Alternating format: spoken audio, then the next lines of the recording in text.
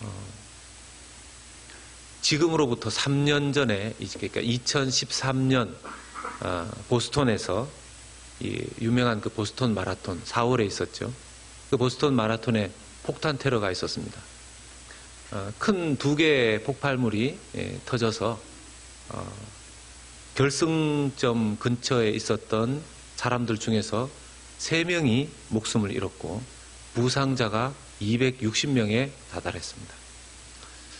어, 참 무고한 그런 사람들을 그렇게 테러를 통해서 희생시키는 참 그들의 그 속 마음을 알 수가 없는데요.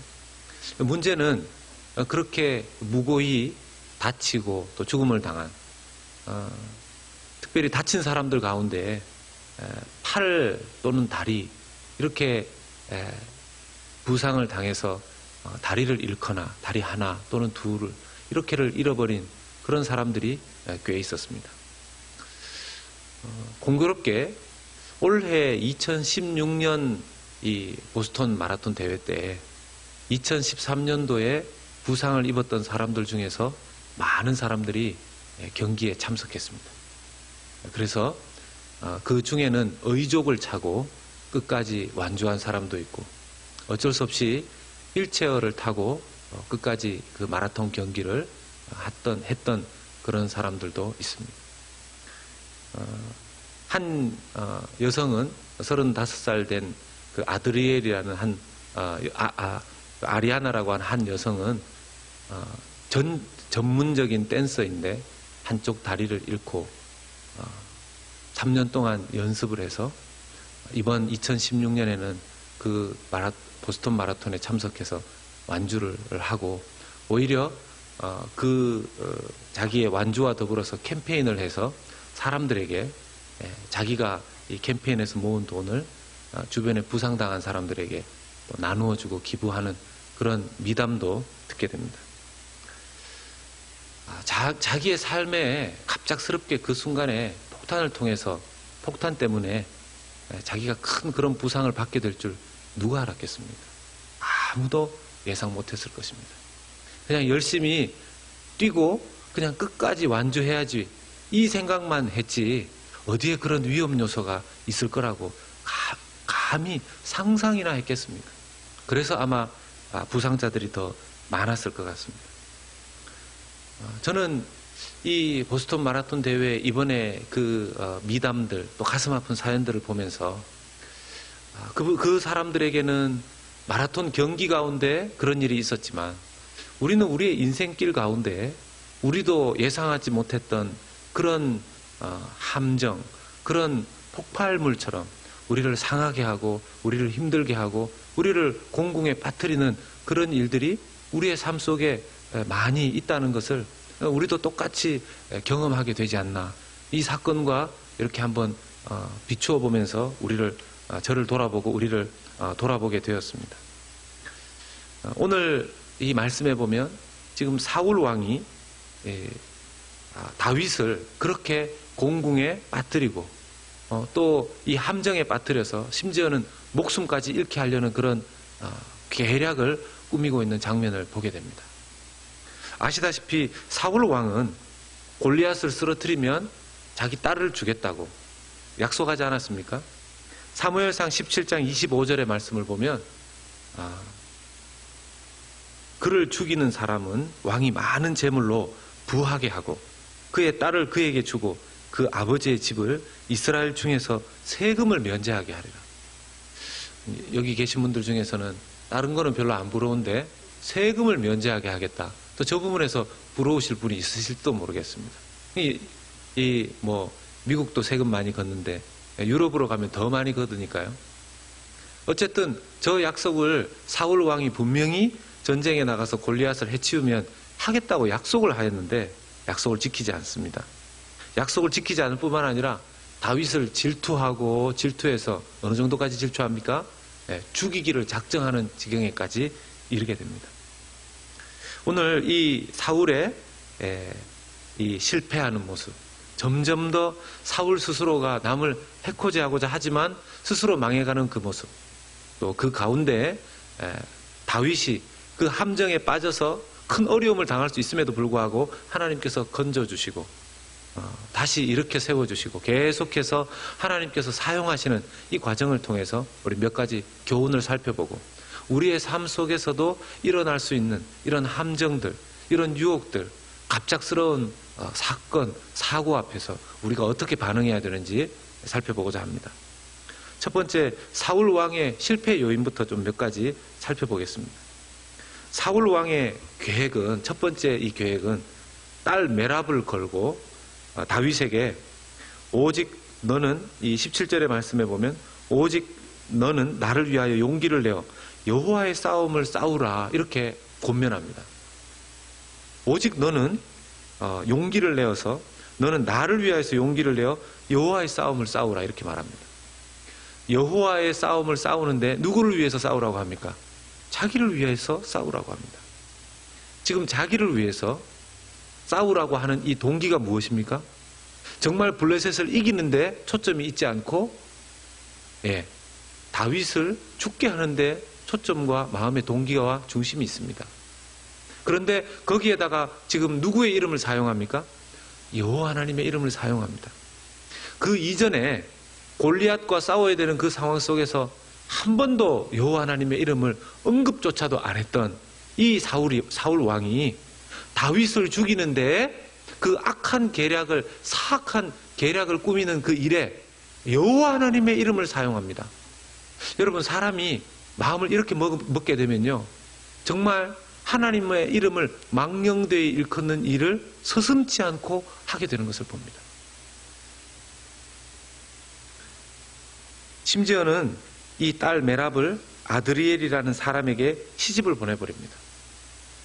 이 아드리엘이라는 사람 어, 메랍을 시집 보냈는데 사실 아, 사울 왕의 이 악한 모습들은 결국 딸들에게도 좋은 영향을 끼치지 못합니다.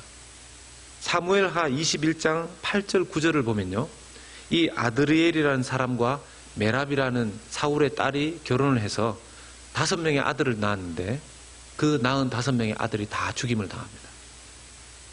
뭐 이유는 여러분 아시겠지만 가나안에 들어올 때 이 그 기본 백성들이 꾀를 내서 어, 그 죽지 않으려고 요수아에게 가서 멀리서 온 것처럼 꾸며서 어, 자기들을 불쌍히 여기게 해달라고 해서 화친을 맺지 않습니까? 그게 이제 기본 민족인데 그렇게 비록 속여서 화친을 맺었지만 그 기본 민족은 가나안 땅에서 이스라엘 백성들과 함께 지냈죠.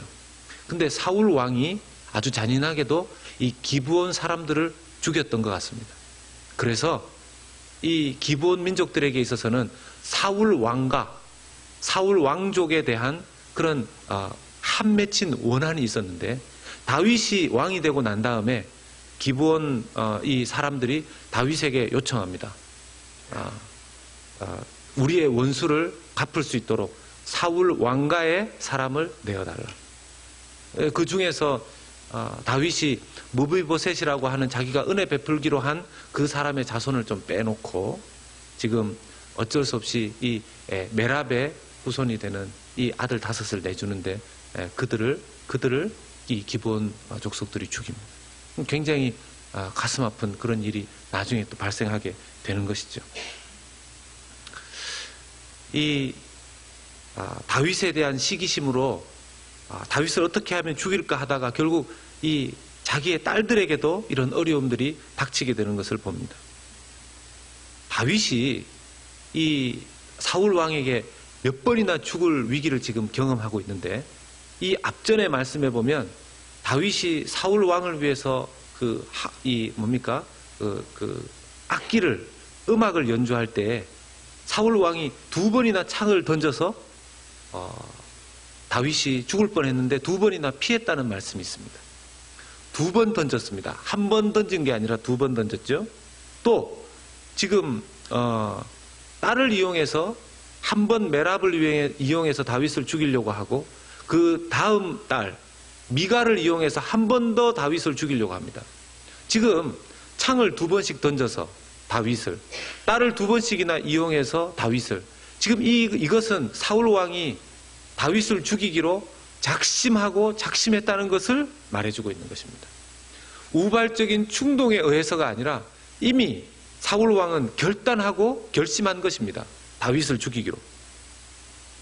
그런데 오히려 점점 더 미궁에 빠지는 것은 누굽니까?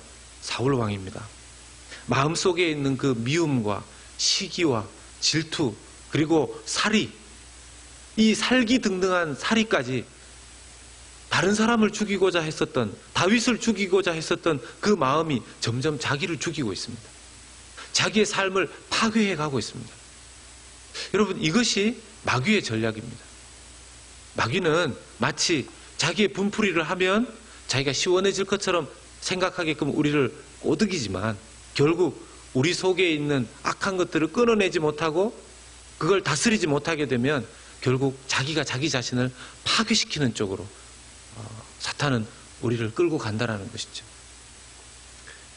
사단이 우리를 얼마나 쉽게 가지고 정말 장난치는지 모릅니다. 누가복음 22장 31절 32절 말씀을 보면 시모나 시모나 보라 사단이 너희를 밀가부로 하려고 요구하였으나 그러나 내가 너를 위하여 내 믿음이 떨어지지 않기를 기도하였노니 너는 돌이킨 후에 내 형제를 굳게 하라. 우리에게 어려운 일이 있을 때 여러분 한번 생각해 보십시오. 그 보스턴 마라톤에서 정말 건강을 위해서 준비하고 자기에겐 인생의 하나의 좋은 추억을 남기고 정말 기쁨으로 마라톤에 참석했던 그 사람에게 결승전, 결승선에 가까워 왔을 때 일어난 사고로 인해서 자기 한쪽 다리를 잃게 되었을 때. 그리고 그것도 자기의 직업이 다른 것이 아니라 전문 댄서. 무용을 하는 그런 사람이 한쪽 다리를 잃게 되었을 때 그 사람은 충분히 그 마음속에 원망과 또 괴로움과 자포자기와 실망과 자기 스스로 인생을 어떻게 끝내버려야 되나 수많은 생각을 할 수도 있지 않았겠습니까? 사탄이 이 여인을 밀가부르듯이 까부를 수 있었을 것입니다. 까불렀을 것입니다. 그런데 포기하지 않습니다. 포기하지 않습니다. 여러분, 그 여인네 뿐이겠습니까? 저와 여러분의 삶 속에서도 어떤 일들이 생길 때, 어떤 사건 속에서, 인간관계 속에서, 금전적인 문제 때문에, 건강의 문제 때문에, 믿음의 문제 때문에, 마치 함정에 빠진 것처럼, 큰 구덩이에 빠진 것처럼, 옆에서 폭탄이 터진 것처럼 그런 느낌이 들 때, 모든 원망, 불만, 불평, 충분히 할 수 있고도 남지 않겠습니까? 사탄이 우리를 그냥 가지고 그럴 때 밀가부르듯이 까부를 것입니다. 그때 어떻게 반응하느냐가 너무너무 중요한 거죠. 사울왕은 넘어갔습니다. 사울왕은 넘어갔습니다. 그 밀가부르듯이 까부르는 그 시기와 질투에서 완전히 거기에 같이 너를 뛰듯 뛰면서 다윗을 죽이고자 하는 그 마음까지 결정하고 구체적으로 행동, 행동에까지 옮겼습니다. 심지어 자기, 자기 친 자식을 이용해 가면서까지. 만약 그렇게 밀 까부르듯이 우리를 까부를 때 어떻게 하면 될까요? 여러분, 어, 타작해 보셨습니까? 타작. 이, 어, 손으로 이 밀을 까부르는 그런 타작도 있지만, 이렇게 발로 이렇게 밟아서 물레방아를 돌려서 이렇게 타작하는 그런 그것도 있습니다. 그럴 때 꼭 하는 것이 넘어지지 않도록 예, 옆에 무엇인가 기둥 같은 걸 붙잡습니다. 여러분 뭐 어, 이 한국의 민속놀이 가운데 널뛰기 같은 것도 있지 않습니까? 그럴 때 이렇게 서로 한쪽을 밟고 한쪽이 올라가고 그럴 때 보면 예, 옛날 그 민속놀이를 제대로 하는 걸 보면요 옆에 누군가가 그 손을 이렇게 잡아주는 것도 보게 됩니다. 사단이 우리를 밀가부르듯이 까부를 때 우리가 할 수 있는 일이 뭘까요? 예, 하나님을 붙잡는 것입니다.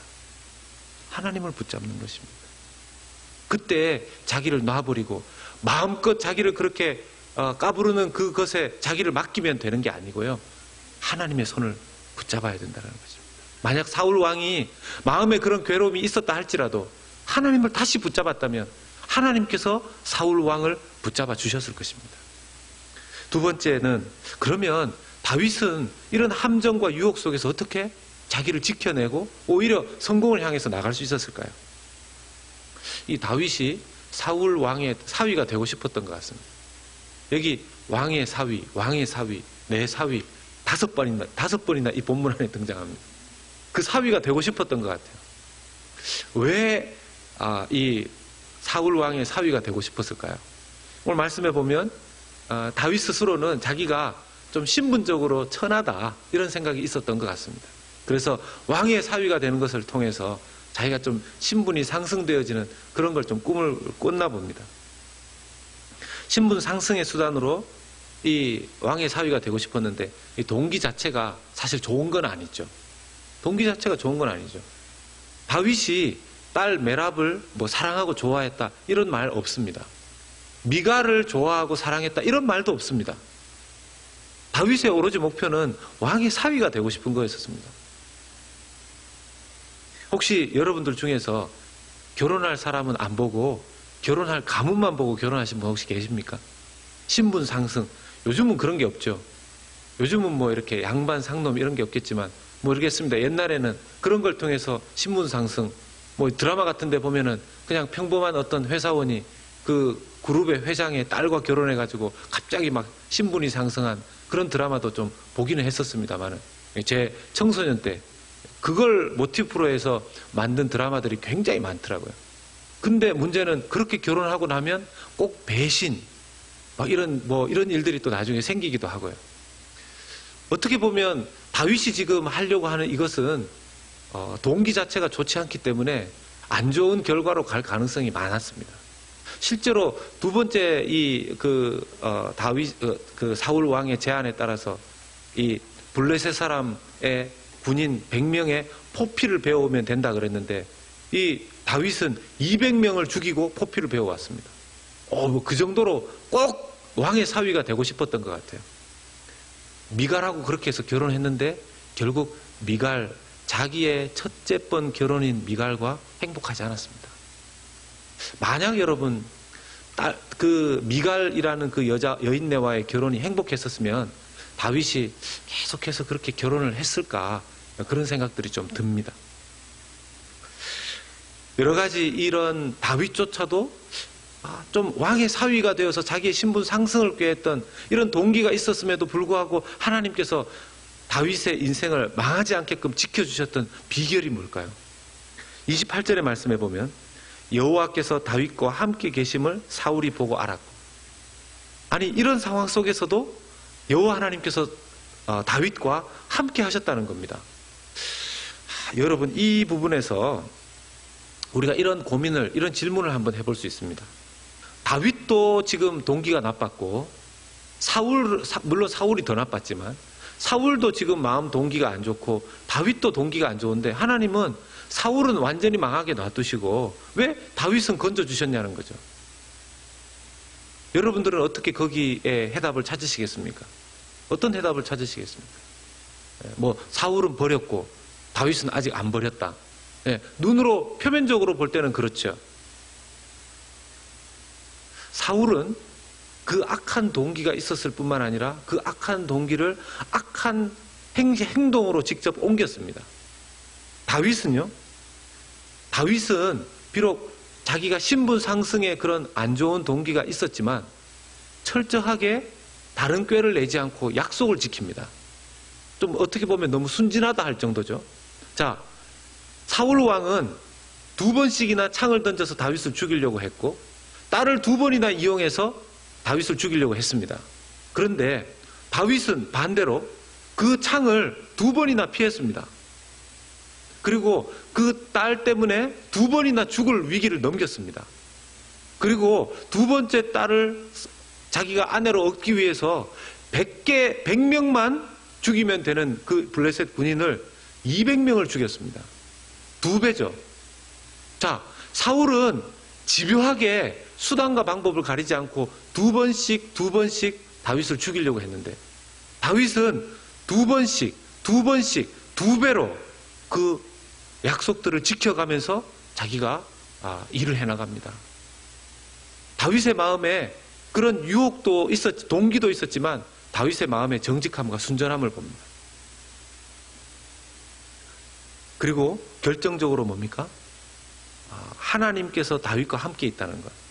여러분, 어떻게 하면 어, 하나님이 함께 하시는 사람이 될 수 있을까요? 어떻게 하면 하나님, 우리는 하나님이 함께 하시는 사람이 될 수 있을까요? 어려우십니까? 답을 잘 아시죠? 예. 아시는 분들은 지금 딱 대답이 나오시죠? 우리가 하나님과 함께 하면 하나님도 우리와 함께 하십니다. 우리가 하나님을 멀리 하면 하나님도 우리와 함께 하시기 어렵습니다. 그게 하나님의 인격적인 부분이십니다. 내가 스스로 하나님을 자꾸 밀어내면서 하나님을 어, 하나님 나와 왜 함께 하시지 않습니까?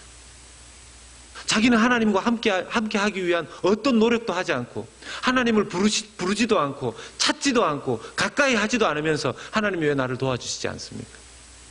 그렇게 말한다는 것은 앞뒤가 맞지 않는 것입니다.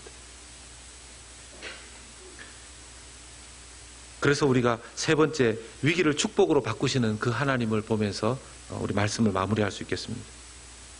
분명히 다윗에게 이 일은 유혹이고 함정이었습니다. 그런데 하나님께서는 이 하나님의 도우심을 다윗에게 허락하심으로 이 위기를 넘어가게 합니다. 뿐만 아니라 참 30절의 말씀에 보면 기가 막힌 말씀이 나옵니다. 30절의 하반절에 보면 이에 그의 이름이 심히 귀하게 되니라. 다윗의 이름이 심히 귀하게 되었다고 그랬습니다. 여기서 말하는 이름은 이름이 귀하게 되었다는 말은 그냥 다윗이 이렇게 명예를 얻었다.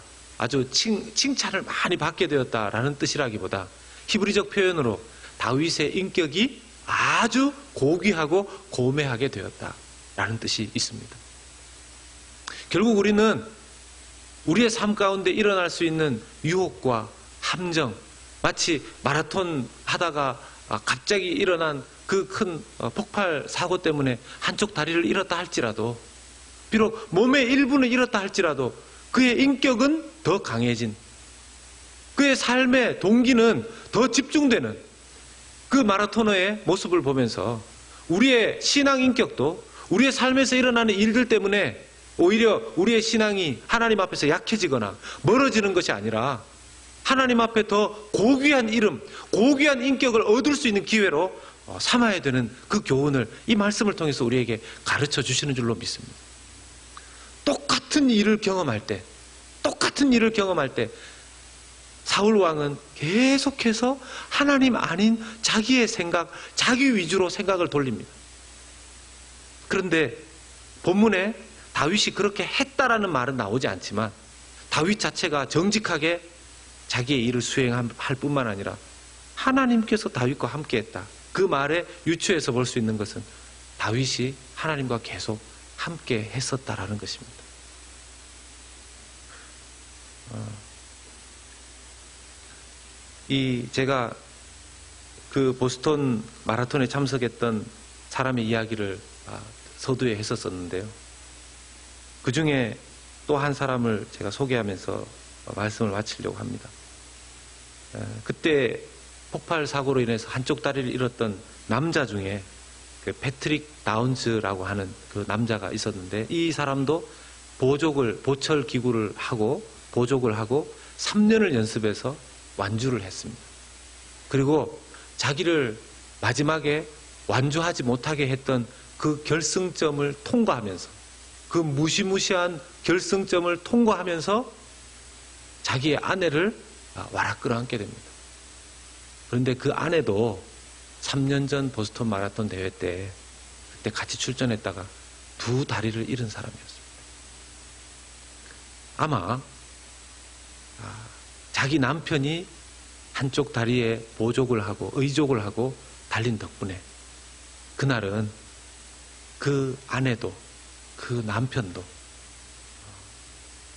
치유를 경험하는 그런 시간이 되지 않았을까 생각이 됩니다.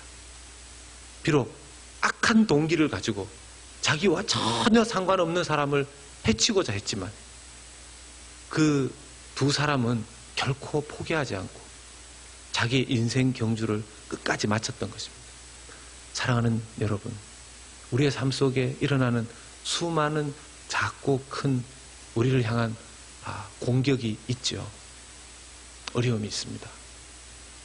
그 어려움과 공격 때문에 포기하거나 실망하거나 자포자기하는 그런 일이 없이 우리가 달려, 달려서 반드시 통과해 내야 될 그 결승선을 멋지게 통과할 수 있는 여러분들 되시기를 바랍니다.